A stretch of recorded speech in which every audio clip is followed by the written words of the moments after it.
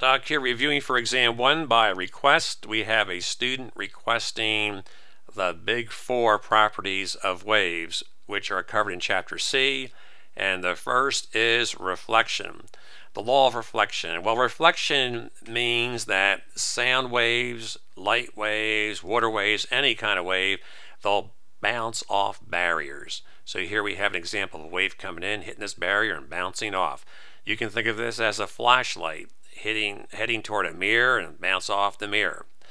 Uh, the example I gave with sound was the football game at the University of Maryland, where the Terrapins did something good and everyone cheered, and the cheers came across the campus, hit this brick wall, came down toward me, and I heard the football game in front of me, the cheers, after I had passed the football field that was to my left or behind me. A very, very strange effect. And here's a whispering chamber, a nice uh, special shape room so that you have two points A and B where if you speak at A, sound, no matter where it hits the wall, will reflect back to B and you can hear whispering from A to B and vice versa, while at other places in the room you may not hear anything at all. For refraction, this deals with the speed of a wave traveling faster in a different medium, but what happens is the medium is, let's say, cooler in one area and hotter in the other, so you have a different medium, but it's still air. So what happens at night is you'll see in a second gets you a nice effect based on this temperature variation and speed variation. Let's look at this for a second here. Freezing temperatures, speed of sound 331 meters per second. At room temperature, the speed of sound is 343 meters per second, so that's why we give you in class 340 meters per second as the speed to remember for speed of sound. And at 30 degrees Celsius, 86 degrees Fahrenheit, you're going at 349 meters per second. So the speed varies. See, technically these are different media. A hotter medium uh, here than a colder medium, and the air will do this at night. We have a temperature inversion. We have the cool air at the bottom, the hot air at the top. In the daytime, when the asphalt gets hot because the sun's beating down on it, at the ground you have a hot air layer and then is cooler up here. At night the reverse takes place, there is no sun, and the warm hot asphalt cools off as the hot air rises, so we call this a temperature inversion. It's inverted from what you normally expect during the day. So we have a sound wave coming out of here. We make these sound wave sketches very, very easily uh, if we let a crest be a line. If you look at this from the top, then you would see a line, a crest here, water, uh, say wave coming into the shore uh, here to the right, and then you would have a valley, and then a crest, and a valley, and a crest. So just think of this as lines for the crest and nothing here for the troughs. So if you say hello, then the sound goes out as a sphere from your uh, head. And since the hot air allows sound to travel faster, the top part of these crests go faster and faster, get ahead of themselves. And then here, look at that. It's like the sound here will focus or come back down across the street. Here's the street, there's your neighbor across the street, and you're talking about your neighbor, and you think you can't hear your neighbor. You just parked your car and you didn't hear these folks talking. You join your family members, you keep talking about the neighbor, but you don't realize that even though you can't hear it in the middle of the street, the sound can be heard across the street. You might say sound carries at night. Well, it's refraction at work.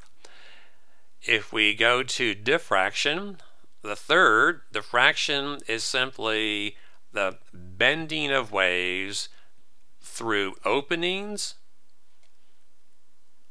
like this one here, around corners, and around obstacles.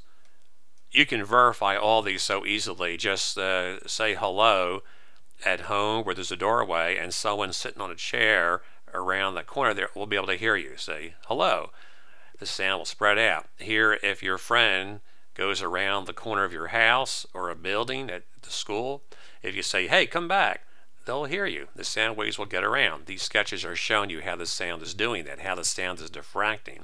And here, if someone says hello or whispers and there's a tree here, if you're right on the other side of the tree, you'll be able to hear the person. Or if you simply turn your head so that you talk away from the person, the sound will wrap around your head and get to the person. The, the last is interference. Interference involves two waves that overlap. If the two waves coincide where the crest meets the crest and the trough meets the trough, we say we have constructive interference and we hear a louder sound. If the waves overlap so that the crest meets a trough and the, uh, here trough meets the crest, they cancel. Think of this as having your eardrum, you know, wanting to be pushed in and then out, plus minus. And here, this wave wants to do the opposite. This one wants to push your ear in, eardrum in. This one wants to pull it out. The eardrum does nothing. So they cancel.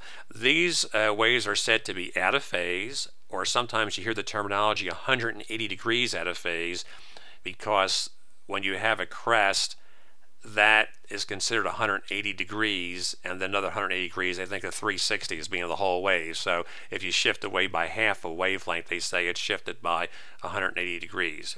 Or in other words, you could just say it's like out of phase. That does a trick also.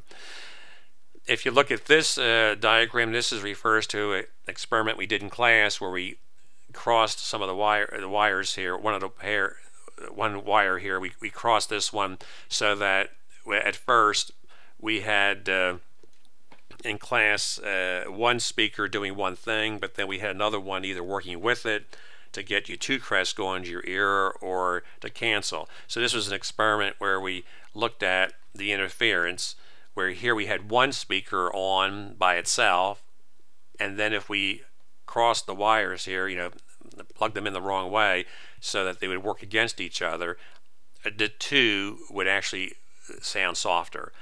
But if we put the wires together here the way you should, then they would work together and you would hear it like loud, the loudest. So this is the loudest.